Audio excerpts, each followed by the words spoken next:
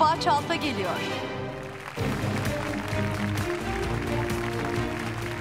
Hoş geldiniz. Hoş buldum, merhabalar. Buyurunuz.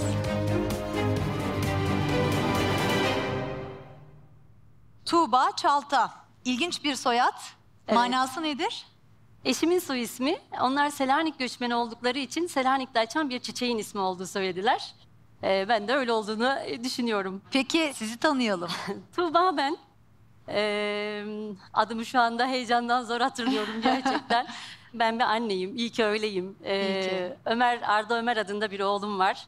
Ee, oradan, e, buradan ona kocaman sevgilerimi gönderiyorum. Benim de Ömer'im var bir tane. Biliyorum oğlunuzla adaş, hatta bir yaş var aralarında. Öyle mi? Ne güzel. Evet, Allah benim bağışlasın. oğlum abi.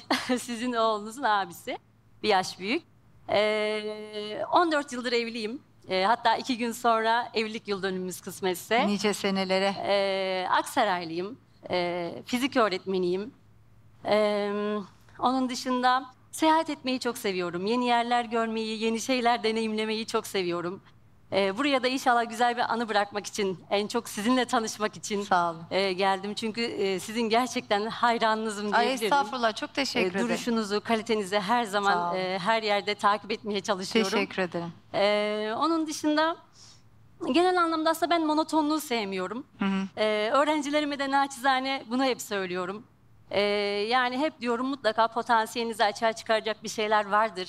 E, her insan bir şeyleri e, açığa çıkarmak, köpürtmek adına gelmiştir diye düşünüyorum. Boş durmayı, şikayet etmeyi çok sevmiyorum açıkçası. Evet o zaman bugün umarım hem güzel vakit geçirirsiniz hem de İnşallah. iyi bir rakamla ayrılırsınız. İnşallah. Size iyi şanslar diliyorum. Çok teşekkür ediyorum. Geçelim sorulara. Geçelim. Tamam. Tuğba Çalta için 3'te 3 başlıyor.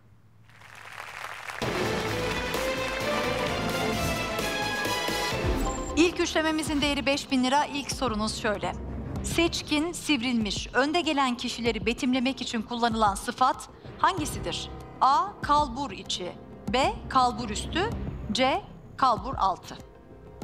B kalbur üstü onaylıyorum. Bakalım.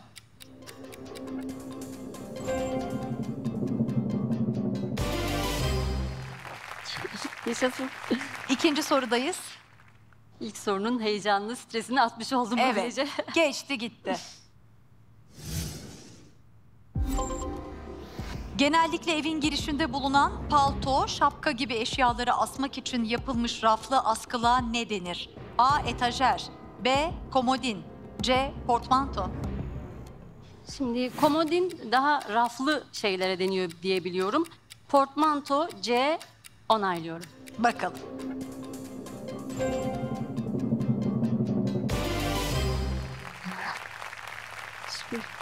İlk üçlemeyi tamamlıyoruz. 5000 liralık soruda sıra.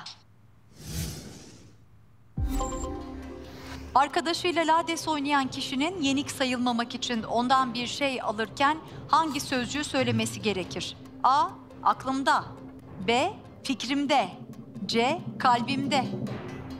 A aklımda onaylıyorum. Bakalım.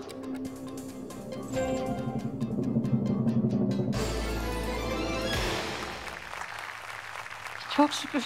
Evet, üçte üç yaptınız ve 5000 lira kazandınız. Evet şu sürenin e, verdiği stresten de biraz Kurtuldunuz. sıyrılmış oldum. Evet, yeni üçlemenin değeri 15 bin lira. evet Tamam mı, devam mı? devam diyorum. Güzel. Yeni üçlemede bir kez Tufan hocamızdan yardım alabilirsiniz. Hatırlatıyorum ve ilk sorunuzu okuyorum. Güzel kadının yüzü hangisine benzetilir? A. Ayın ilk günü. B. Ayın hilal hali. C. Ayın 14'ü. Yani güzel kadının yüzü e, ayın 14'ü gibi parlıyor derler. Çünkü 14'ü e, dolunay parlak en parlak hali olduğunu biliyorum. Hilal zaten ince bir çizgi e, olduğu için yani kadının yüzü niye ince bir çizgiye benzetilsin? Ayın ilk günü Ayın ilk günü ayın hilal hali. Zaten ilk günü yeni ay hiç ortada ay olmaz diye düşünüyorum oğlumun ortaokul bilgilerinden. Bence ayın 14'ü diyorum. Onaylıyor musunuz? Onaylıyorum. Bakalım.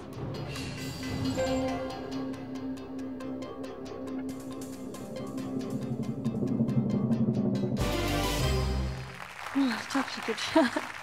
Rahatlıkla sorulara cevap veriyorsunuz. Umarım böyle devam eder. İnşallah oradan öyle görünüyorumdur. Bir de bana soru şu anda hala heyecanımı atmış değilim. Ama inşallah geçecek. Yo yo güzel. Bence bu heyecan sizi diri tutuyordur. Üçlemenin ikinci sorusundayız. Hangisi komşu komşu isimli tekerlemede inci boncuk sahibi olanlardan biri değildir? A. Kara kedi B. inek C. Komşu. Komşu komşu. Oğlun geldi mi geldi? Ne getirdi? İnci boncuk kime kime? Kara, ke- kara kedi var. Kime kime? Sana bana. Başka kime? Kara kediye.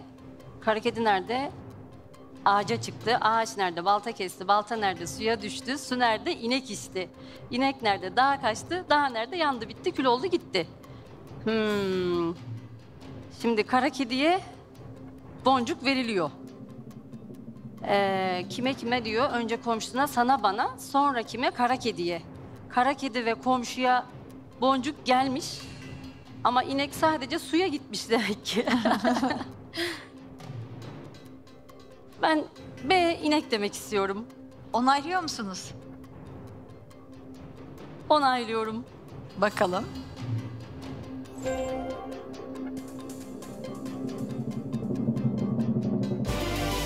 Ah.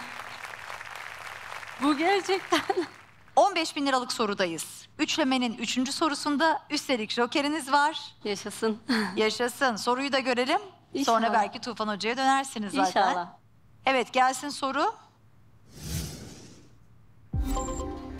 Biyolojinin hangi alt dalı DNA, RNA ve protein biyosentezi arasındaki etkileşimleri inceler? A. Mikrobiyoloji B. Embriyoloji C. Moleküler biyoloji Hmm. Şimdi ben fizik öğretmeniyim ama öğrenciyken en çok korktuğum, en yapamadığım ders maalesef biyolojiydi. Ee, DNA, RNA deyince aklıma gen yapısı geliyor. Yani burada mikrobiyoloji sanki mikroskobik canlıları incelermiş gibi geliyor. Embriyoloji, embriyo ee, yani bir canlının ilk e, aşamasını çağrıştırıyor. Moleküler ve genetik hani bunlar böyle ard arda söylenmiş şeyler gibi e, geliyor bana açıkçası. O yüzden A'ya çok yakın olmamakla birlikte B ve C arasında kararsız olduğum için Tufan Hocam'dan yardım istiyorum ben. Haydi isteyin. Merhabalar Tufan Hocam. Merhaba Tuğba Hanım. Çok güzel yarışıyorsunuz. İnşallah sizi büyük ödülle e, baş başa bırakacağız. Yani onun sorusuyla baş başa bırakacağız. O zaman da inşallah ben size yardım edeceğim oraya geldiğinizde.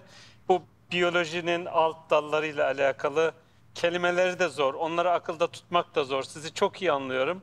Ama mesela B şıkkına baktığınızda sanki o biraz gelişim biyolojisi ile alakalı. Ben sizi rahatlatmak için B şıkkını eliyorum. Teşekkür ederim hocam. Bu durumda A mı C mi? A'yı e, zaten çok dediğim gibi mikrobiyolojinin DNA, RNA ve proteinle ilgili e, olmadığını, protein biyosenteziyle ilgili olmadığını düşünüyorum. E, ve dediğim gibi moleküler ve genetik e, ve DNA, RNA'nın da genetikle ilgili olduğunu düşündüğüm için C şıkkı demek istiyorum. Onaylıyor musunuz? Onaylıyorum. Bakalım.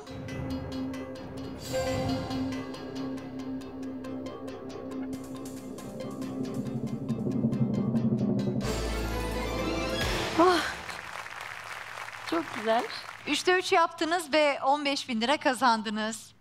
Bu arada siz e, şu anda hali hazırda çalışıyorsunuz değil mi? Aktif çalışıyor musunuz? Evet çalışıyorum. Ee, ben 17 yıldır özel sektörde çalışıyordum ve bu yıl e, atandım.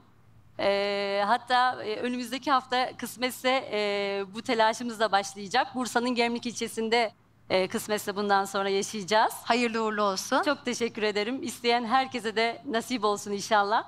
Ee, nasip bugüneymiş. Ama daha öncesinde de ben e, mesleğimi çok seven e, bir öğretmenim. Dünyaya yine gelsem yine öğretmen olurdum. Özel sektör, kamu sektörü hiç fark etmez. E, çünkü neredeyse ben öğretmen olarak doğdum diyebilirim. Yani 9-10 yaşından itibaren hep etrafımdaki herkese, kuzenlerime, komşu çocuklarına bildiğim her şeyi öğretmeye çalışırken buldum kendimi. Ee, o yüzden çok seviyorum mesleğimi. Eminim çok da iyi bir öğretmensinizdir. Çok teşekkür ederim. İnşallah öyle düşünüyorlardır öğrencilerim de. Düşünüyorlardır. Ben eminim. Üçlü üç yaptınız ve 15 bin lira kazandınız. Geldik üçüncü üçlemeye. 50 bin lira değerinde. Tamam mı devam mı? Burada sizinle yarışmak gerçekten e, benim hani ölmeden önce yapılacaklar listesi vardır ya onlardan bir tanesiydi. Ona e, kocaman böyle gülümseyen bir tik atacağım. E, çok da güzel gidiyoruz aslında. Evet çok güzel yarışıyorsunuz. Ama bilemiyorum. Ee, normalde hani yarışmaya katılmak için hep birileri birilerini teşvik eder. İşte oğlum söyledi, ablam söyledi falan diye. Beni kimse teşvik etmedi. Ben kendi kendimi telkin ve teşvikle başvurdum. Ama yeğenlerim e, bana çok baskı yaptılar ilerlemem konusunda. Tamam. İşte e, üç tane yeğenim var. E, onlara da buradan selamlarımı, sevgilerimi gönderiyorum. Onların e, önerisini dinleyip devam diyorum. Güzel devam. Bakalım. Evet bu devam kararıyla 50 bin liralık üçlemeniz başlıyor. Bir joker hakkınız var bir de kırmızı butonu unutmayın. İhtiyaç olmasın ama olursa da bastığınız takdirde 7500 lirayla ayrılacaksınız. İnşallah gerek olmaz. Şimdi ilk sorunuzu okuyorum. Çarpıcı, büyük ilgi uyandıran anlamında kullanılan sansasyonel kelimesi Türkçe'ye hangi dilden geçmiştir? A. İtalyanca, B. Fransızca, C. Yunanca. Evet. Sansasyonel. En çok öğrenmek istediğim dillerden bir tanesi de Fransızca olurdu. Çok e, naif bir dil olduğunu düşünüyorum. E, sanki onların böyle sansasyonel, böyle söylemine uygun gibi. Ama ben bunu nereye çevirsem sansasyonel diye İtalyanca da söyleyebilirim. Yunanca bana yani daha çok Latince kelimeler sansasyonel ama bir taraftan da ülke olarak yakınız almış olabiliriz. Öyle bir fikir de geliyor şu anda aklıma. Ee, 50 binin ilk üçlemesinde de Tufan hocamı kullanmayıp risk alsam mı? Ama İtalyanca ve Fransızcadan sansasyonel. Sansasyonel. Sansasyonel. yani ikisi gibi de oluyor yani. Kelimeleri de aslında gözden geçirmiştim ama bu gözümden kaçmış. Ben Tufan hocamdan yardım istesem pişman olur muyum? Fransızca mı desem? Yani sansasyonel. Böyle Fransızcaya sanki daha eee, yakınmış gibi geliyor. Ee, ben risk alacağım. Tufan hocamı daha sonraki sorular için değerlendireceğim. Yanlış çıkarsa da yeğenlerimle hesaplaşacağım. Aman canları sağ olsun. Ana olarak kalır. Sizinle tanıştım derim. Yunancayı zaten hiç düşünmedim. Kafamı son kez toparlıyorum. Fransızca demekten pişman olmak istemiyorum. Ve Fransızca diyorum. Onaylıyor musunuz? Onaylıyorum. Pekala onayladınız. Fransızca cevabı acaba sizi 50 bine yaklaştıracak mı?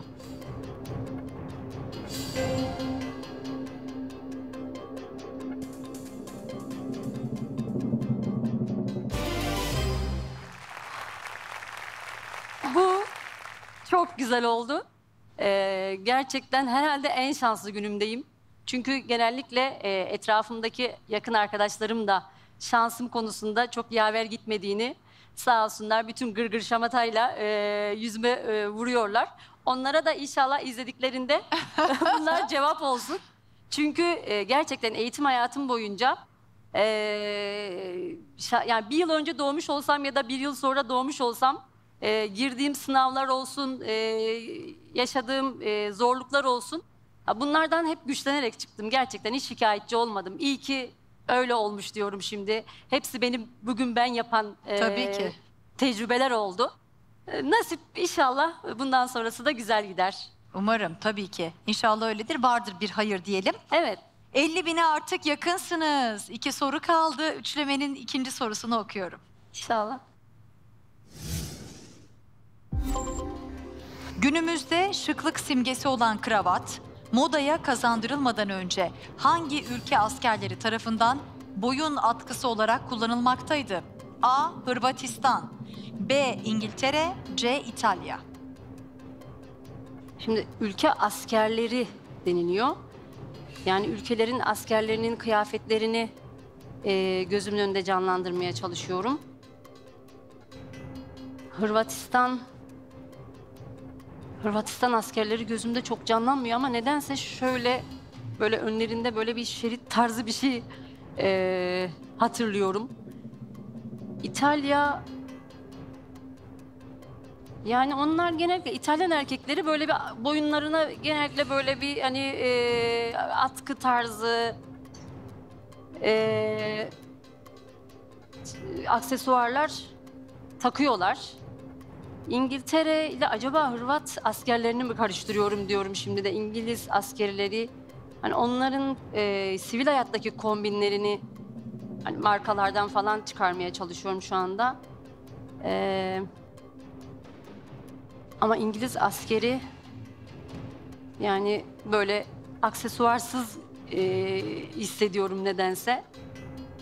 Yani şu an üçü de, üçüne de aynı mesafedeyim. E, İtalya moda e, açısından biraz daha bilmiyorum yani e, çağrıştırıyor sanki. Önce hangi ülke askerleri tarafından boyun atkısı ama ta öncedenmiş bir de o da var.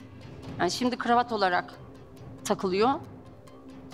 Tufan hocam keşke iki tane hakkımız olsaydı eliminde. hmm, Hırvatistan'ın sanki askerlerin de yani böyle renkli ve böyle e, boyun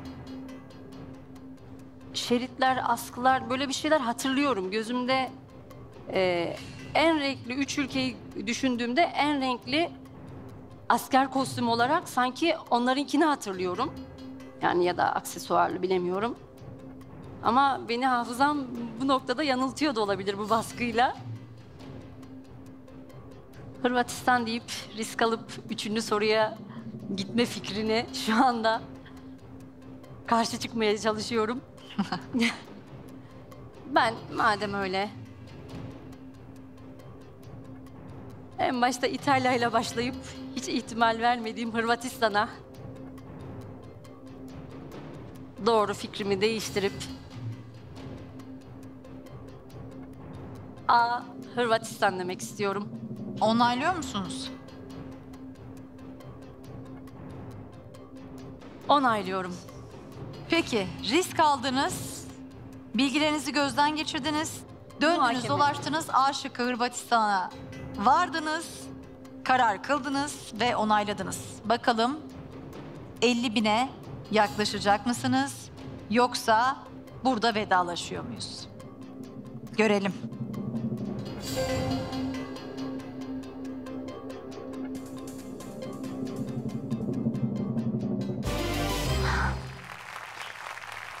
Şu an bütün şansımı burada kullanıyor gibiyim. Gerçekten çok mutlu oldum.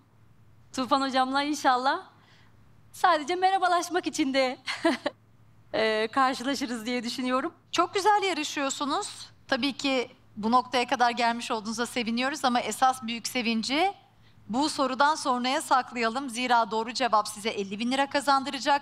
Üstelik Tufan hocamdan yardım alabileceksiniz. Yani şimdiden kazanma şansınız yüzde 50.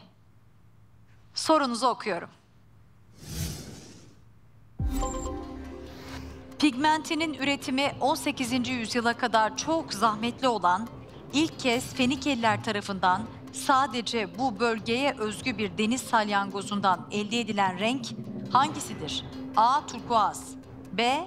Turuncu C. Mor Evet, şu anda şıklarda en sevdiğim iki renk var. Biri mor, biri turkuaz.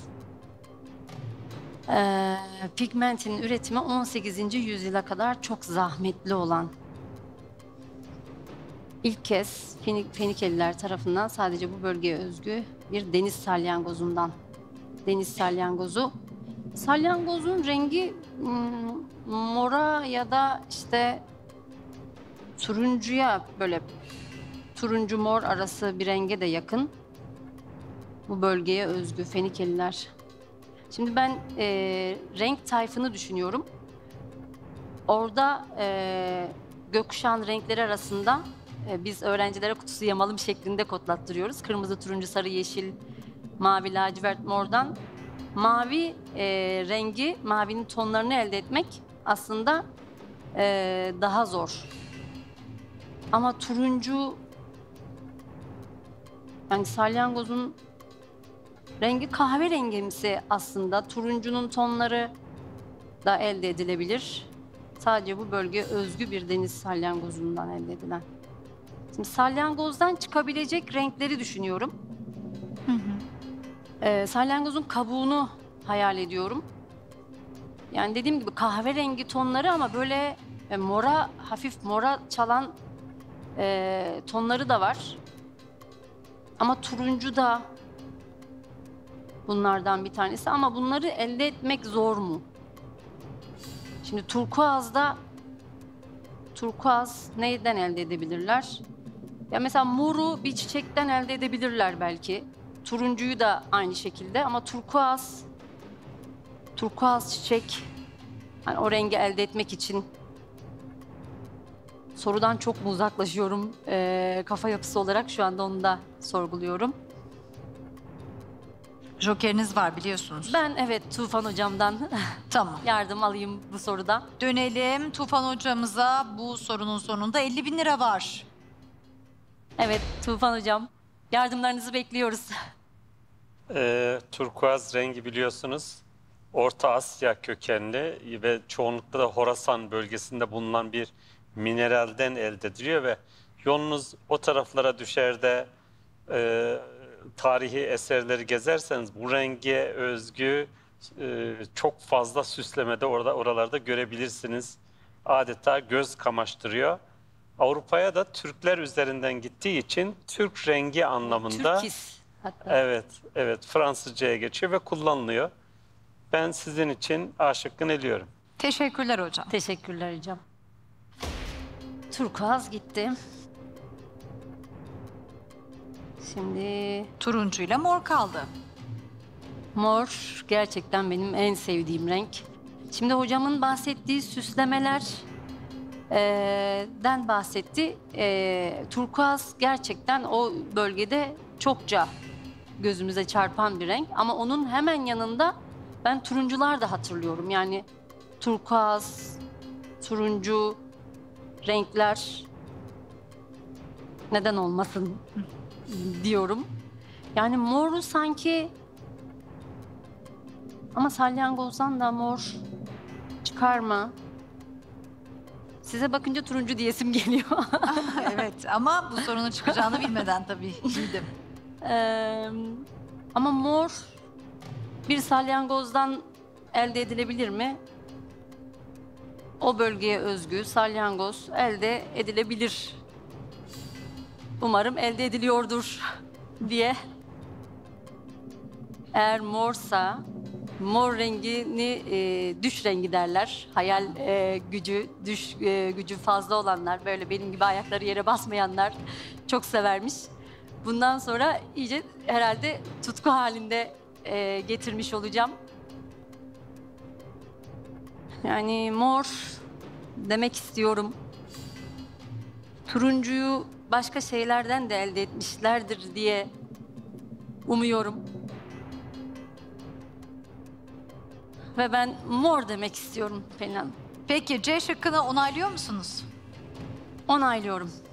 Onayladınız. Bakalım bu cevap size 50 bin lira kazandıracak mı? Cevap yanıncaya kadar kırmızı butona basma şansınız devam edecek. Bunu da unutmayın. Haydi görelim. Cevap mor mu?